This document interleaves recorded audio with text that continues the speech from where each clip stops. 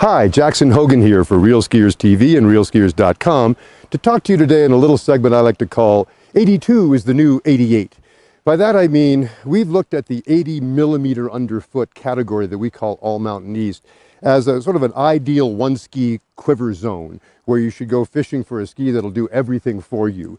And now we're seeing a new sort of subgenre of this that is in fact so narrow underfoot that it falls out of that category into a category we call front side.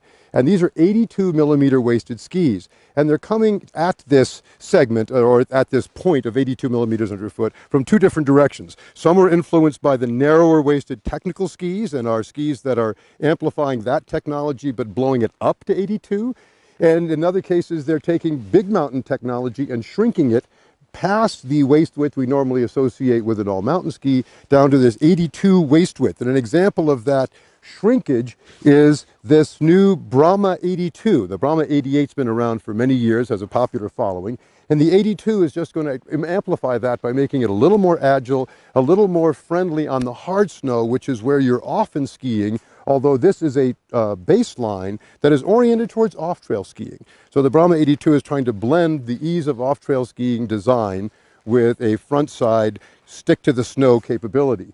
That's also the case with the Black Pearl 82, which is fitting in between the Black Pearl 78 and 88 in their line and giving them an alternative that's going to have a little more waist width than the 78, a little more performance, but a little more agile and in the hard snow conditions that often prevail even though we want to be skiing off trail.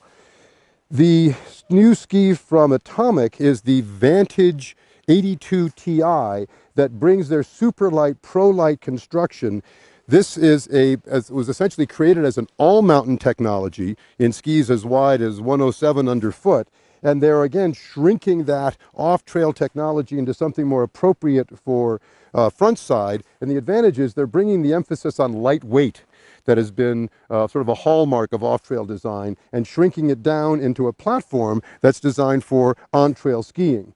That's certainly also the same with the Elan Wingman 82 that is uh, an amphibio design, which means that the left and right skis are specific because of the way the forebody and the rest of the front of the ski is uh, biased towards carving on the inside edge and being looser on the outside edge. So it's taking a technology that in this case is percolating up from their technical skis, like their Amphibio series, and investing it in a ski that's got a little on-trail and a little off-trail in it.